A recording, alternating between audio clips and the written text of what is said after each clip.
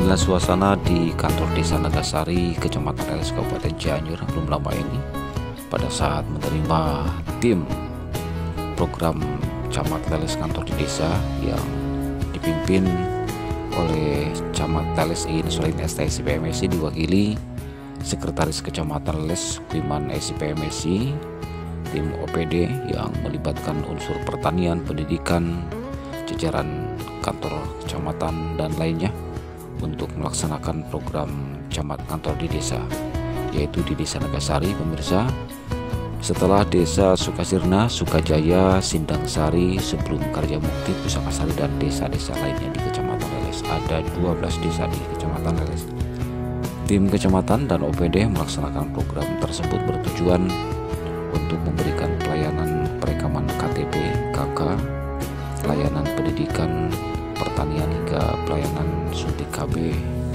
Terlebih dapat mengetahui segala perihal kegiatan yang terjadi di desa. Di samping itu pula monitoring pelaksanaan APBD tahun 2023. Hadir Kepala Desa Nagasari Hasbuloh, Sekdes, Kayat SPD dan jajaran menyambut mereka.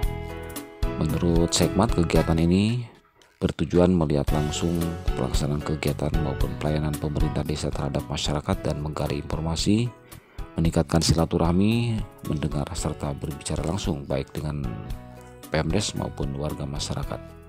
Lebih dari 200 orang yang ingin mendapatkan pelayanan gratis dari tim kecamatan dan OPD. Kegiatan itu bersifat tidak formal dan bukan pula sidak, tapi merupakan ajang untuk silaturahmi, menggali permasalahan maupun kendala yang kemudian dapat didiskusikan bersama untuk lebih jelas dan terarah jelasnya. Diketahui fungsi camat selain mengepalai wilayah juga merupakan keterpanjangan dari pemerintah kabupaten, Pak Bupati ya dalam hal ini.